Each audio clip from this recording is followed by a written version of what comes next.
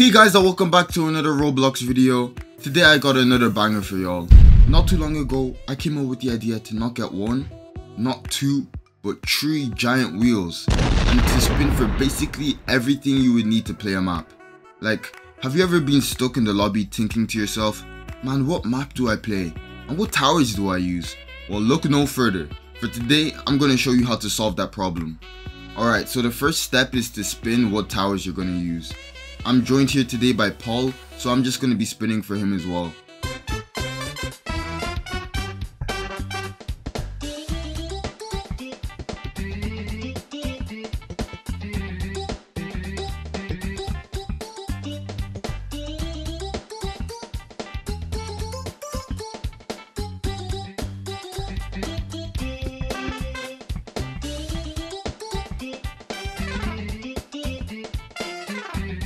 After that, you gotta spin for the map. And if you're lucky, you won't get something that will completely murder you. Now guys, I decided to just go for medium in this one, but after making it to the boss wave and losing it, we realized that if we can't even do a medium mode in this map, then this challenge is going to be harder than we thought. So from now on, we spin for the difficulty of each map, and if we can't beat it, then we have to end the challenge. Alright, after spinning for our decks, we were happy enough to find out Oddport Easy was the map to beat.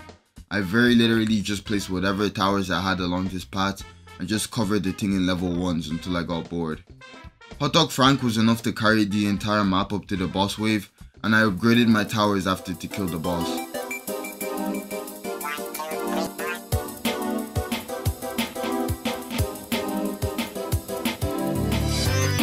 So yeah, this map was easy, no challenge at all. More spinning.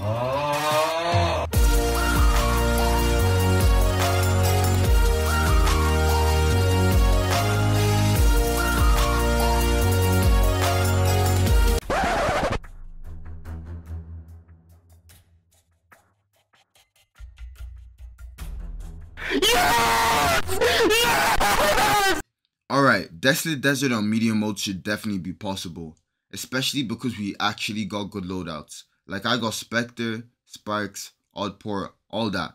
Paul even has Stella. This map was hella enjoyable due to the fact that I had a proper deck. My placement is on point still and everything. The boss was a little scared but nah, he didn't make it past. If I'm being honest with you, I think I could do this forever. I literally don't see myself losing.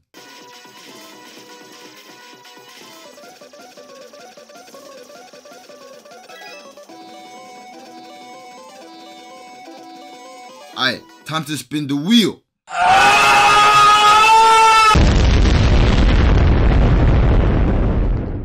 The deck looks alright to be fair. I can work with this. Time to see what map we get. oh, no, no, no, no.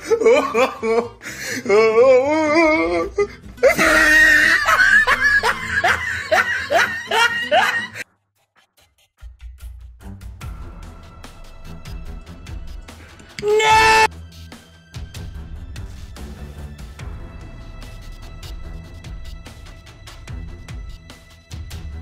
Your final challenge.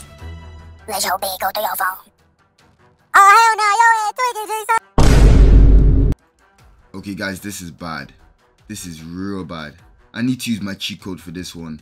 I let an extra random dude join the map and we got to work for real. It was when I was reminded that you can't even send mana in this map I knew it was over for us.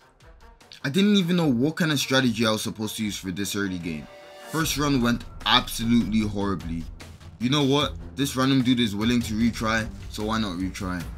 He didn't even question why our decks are so sh But yeah, no matter how much we tried, even when it was looking good, we just couldn't get past the early stages. I don't think our teammate was cooking with Volt either to be honest. Would you say wave 18 is decent enough? We tried again, I did my best defense, okay?